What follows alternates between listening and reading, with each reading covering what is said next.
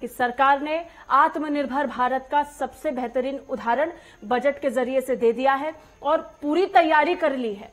Corona काल में जिस तरीके से अर्थव्यवस्था प्रभावित हुए, उसको ट्रैक पर लाने के लिए पूरी कोशिश की गई। हमारे साथ इस समय हम पैनलिस्ट जुड़ चुके हैं, जिनके माध्यम से हम ये जानने की कोशिश करेंगे किसका कितना फ़ायदा किसको मिलेगा और कैसा ये बजट रहा है और किसको कहीं ना कहीं हताशा भी प्राप्त हुई है, इस पर भी चर्चा करेंगे। हमारे साथ जुड़े हैं देवेंद्र कपूर, जो कि चार्टर्ड अकाउंटेंट हैं सीए हैं। हमारे साथ एम के अरोड़ा जुड़े हैं, जो पूर्व चेयरमैन हैं आईसीएआई नोएडा से।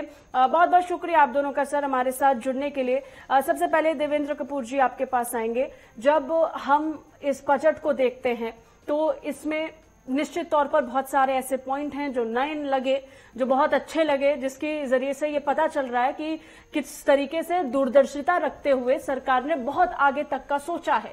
वहीं कुछ ऐसे पॉइंट हैं जिनसे कुछ सेक्टर्स को ज़रूर हताशा प्राप्त होगी, क्योंकि खासतौर पर अगर हम टैक्स को लेकर के कहें तो लोगों की तरफ़ से एक उम्मीद रहती है कि टैक्स रिलीफ थोड़ी सी हर बजट में सरकार की तरफ़ से दे दी जाएगी। इस बार ऐसा कुछ नहीं देखने को मिला।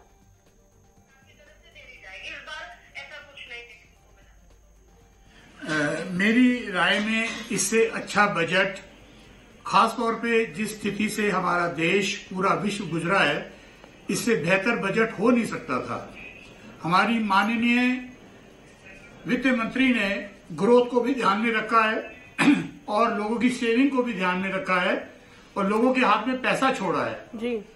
और अगर हम इसको जो उन्होंने अपने बजट भाषण में भी कहा कि हम लोग टैक्स नहीं बढ़ा रहे हैं हम कंप्लायंस को रिस्ट्रिक्शंस करके कंप्लायंस की सिस्टम को और इम्प्रूव करके टैक्स की कलेक्शन को बढ़ाएँगे ये बहुत ही सराहनीय उनका कदम है।